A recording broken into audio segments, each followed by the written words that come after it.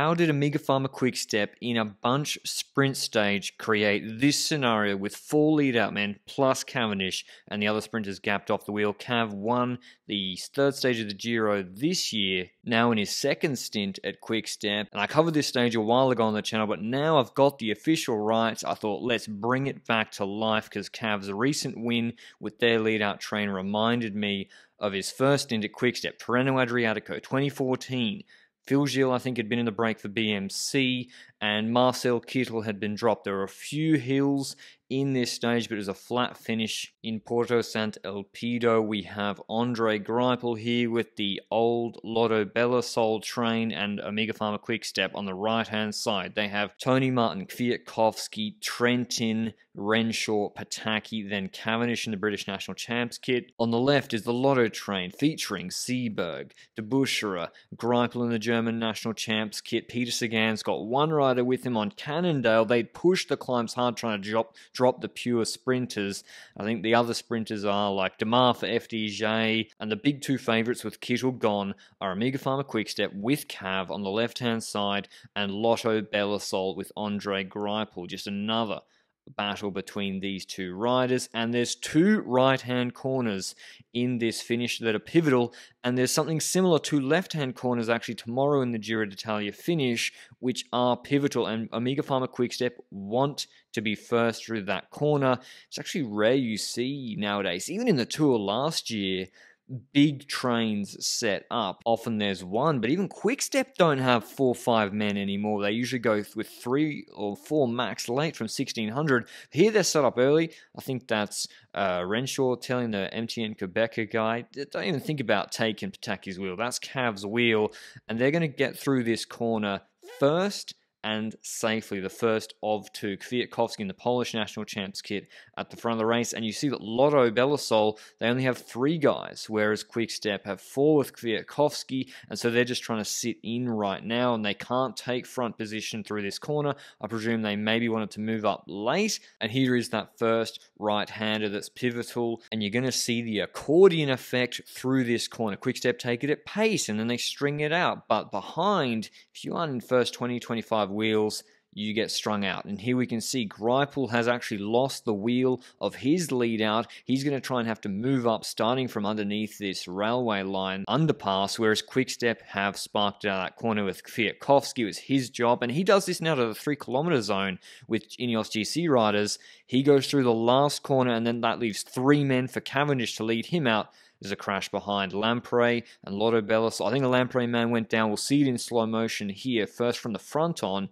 Lampre rider pedals through the corner, clips his pedals, slides out, takes out Sieberg and the entirety of the Lotto Belisol train, except Greipel, because Greipel was detached from that train, and you can actually see in this shot here, he almost crashed himself because he's trying to move up.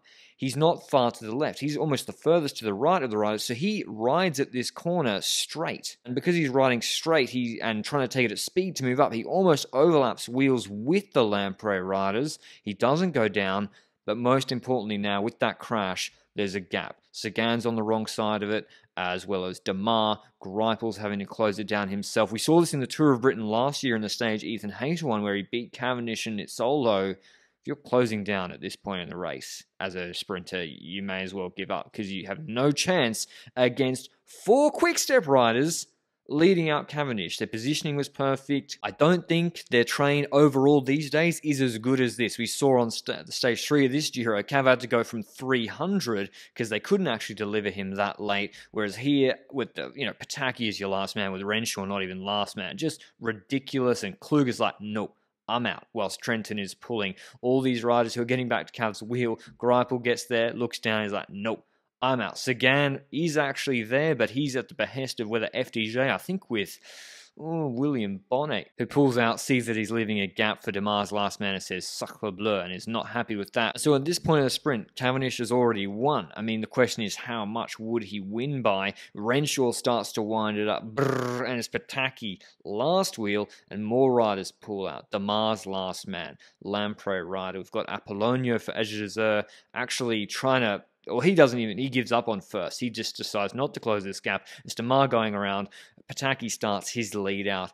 I don't even think, Cav might have thought Greipel was still in there, so they didn't even know Quickstep how much of a dominant position they were in when Cav launches ridiculous. What, 20, 30 bike lengths, maybe more, wins this stage sprinting through the line. Could have had a more a bigger post up. And this is one of the most dominant sprint train performances, just an absolute clinic that you will ever see. I mean, the firepower was absurd. Like, as I said, Trentin in his prime, Petacchi, Renshaw, Kwiatkowski in his prime, Tony Martin setting it all up before those corners, making sure they were at the front.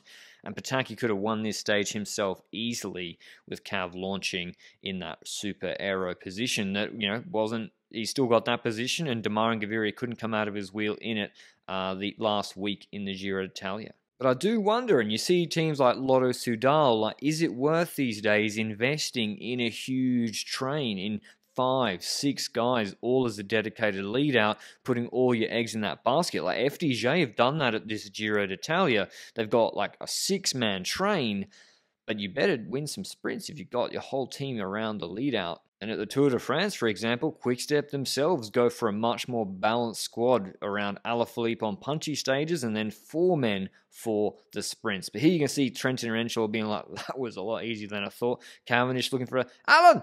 Alan!